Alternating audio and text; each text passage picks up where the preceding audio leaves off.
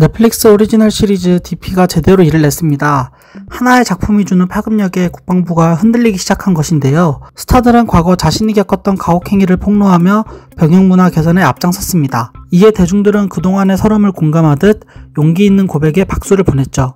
정성윤은 지난 18일 유튜브 채널 미성부부를 통해 합동참모본부 의장 당번병으로 군 생활을 보내던 중 사적인 업무에 자괴감을 느꼈다고 했습니다. 이로 인한 심리적인 스트레스로 어려움을 겪었다고 털어놓았는데요. 실제 DP 출신인 윤형빈은 인터뷰를 통해 가혹행위를 알렸습니다. 그는 목침이라는 게 있다. 목을 주먹으로 계속 내리쳤다. 굉장한 충격을 받아서 쓰러질 정도 라고 설명했습니다. 스타들의 가혹행위 폭로는 이번이 처음이 아닙니다. 앞서 허지웅은 과거 군생활 중 가혹행위를 당했다고 소신 발언을 남긴 바 있습니다. 그는 일방적인 구타와 폭언을 당했던 경험을 언급하며 손발을 마음대로 쓸 수도 없고 휘청거렸다고 전했습니다. 작전 전투경찰 출신 인 하석진은 선임병에게 수시로 구타를 당하는가 하면 부당한 지시로 강아지에게 젖을 물렸다고 했습니다. 그때 맞았던 상처가 지금은 흉터로 자리 잡았다고 밝히기도 했죠. DP는 탈영병들을 잡는 군무 이탈 체포조 안준호와 한호열이 다양한 사연을 가진 이들을 쫓으며 미처 알지 못했던 현실을 마주하는 이야기를 담은 작품입니다. 작품 속에는 욕설과 구타를 비롯해 강도 높은 가혹행위가 낱낱이 등장하죠.